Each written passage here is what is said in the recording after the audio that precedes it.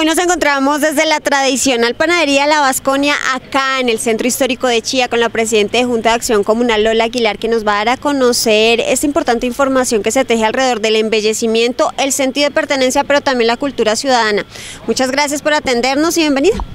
Buenos días Vicky, buenos días, ¿cómo están? Gracias, ustedes como siempre, pendientes de la zona histórica. Sí, pues Vicky, vean, hemos ido avanzando mucho con el proyecto de mejoramiento de fachadas, cogimos esta cuadra, que es la cuadra crítica, los problemas que tenemos todas las noches y, y, pues lo que ustedes evidenciaban antes de hacer, de arreglar estas dos cuadras, era la cantidad que nos grafiteaban, nos rayaban. Los invito para que vean cómo quedó esa casa hermosa. Eh, ya los propietarios de aquí, de este predio, tanto de la Vasconia, ellos quisieron hacer un mural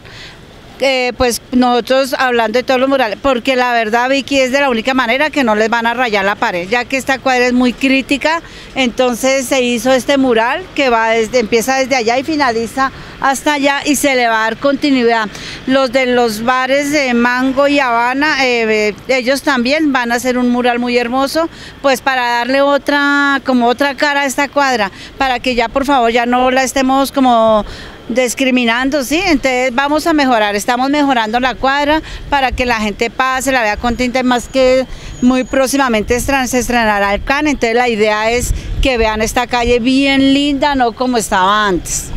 lamentablemente la semana pasada ustedes también registraban en las redes sociales de la Junta de Acción Comunal acá del Centro Histórico un hecho lamentable donde se vandalizó uno de los murales, pero inmediatamente se identificó a las personas, se identificaron las personas que estaban haciendo este tipo de actos. ¿Qué fue lo que pasó?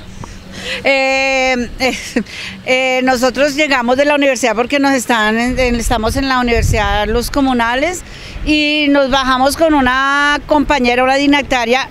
vamos a pasar por esta cuadra, cuando efectivamente había un problema, una, una riña de niñas y en ese momento, no sé, en un medio, fue algo muy rápido, un chico empezó a vandalizar la, la fachada, gracias a Dios aparecieron unos muchachos de seguridad, no, eh, de una los cogieron, le avisaron a la policía que también estaba ahí pendiente de la pelea de las niñas y se los llevaron y los tuvieron esa noche en el CTP y al otro día ellos vinieron y nos mm, hicieron el, o sea, lijaron y volvieron y pintaron la fachada. Y ayer el coronel volvió y llevó otros dos muchachos que creo que son del hincha de Millonarios, donde se comprometieron hoy a ir a pintar donde están esos escudos. Claro que sí, un llamado respetuoso, por favor, a mantener la zona histórica bonita, sí, con estos murales que están adelantando junto con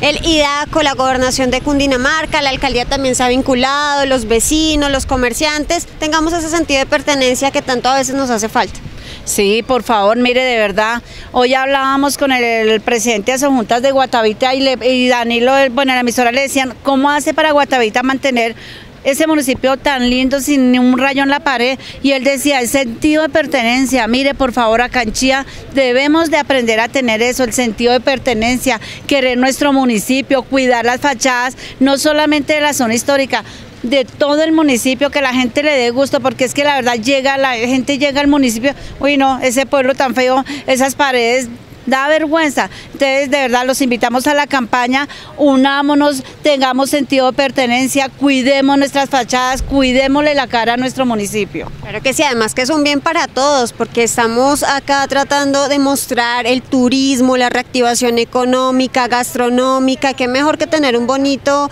eh, una bonita imagen de cada uno de los sitios emblemáticos de Chía. Lola Aguilar, presidente de Junta de Acción Comunal del Centro Histórico, gracias por atendernos y también muy atentos por el desarrollo de este importante trabajo que vienen adelantando.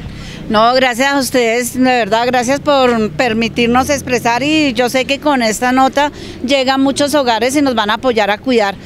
Gracias y vamos a seguir, apenas finalicemos, ya nos falta casi un 30% para finalizar el mejoramiento de fachadas, eh, ya seguimos con puertas y ventanas y va a haber un cambio extremo.